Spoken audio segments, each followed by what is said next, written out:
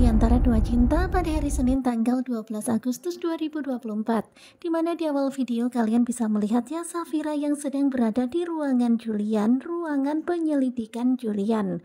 Di sini Safira pun mengamati foto-foto Pak Gunawan dan juga keluarganya dan terlihat ya Safira yang sangat marah karena benar-benar Safira nggak menyangka orang yang selama ini dia anggap malaikat ternyata justru dia adalah orang yang telah membunuh kedua orang tuanya. Kemudian terlihat Safira yang mengamuk dan mengobrak-abrik gambar itu dan tentu saja Julian pun langsung datang berusaha untuk menenangkan Safira.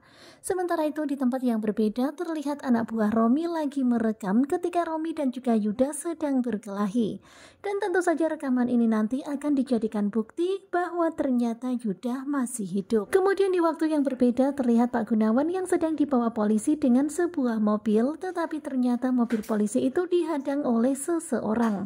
Dan kalian bisa melihat ya orang itu pun langsung menghadang mobil itu dan menyerang polisi itu.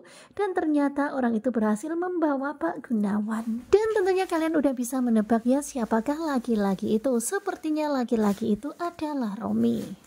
Berita menghilangnya Pak Gunawan itu tentu saja langsung sampai kepada Julian dan juga Safira. Dan lagi-lagi keributan pun terjadi antara Safira, Julian, Mama Lestari dan juga Rafael.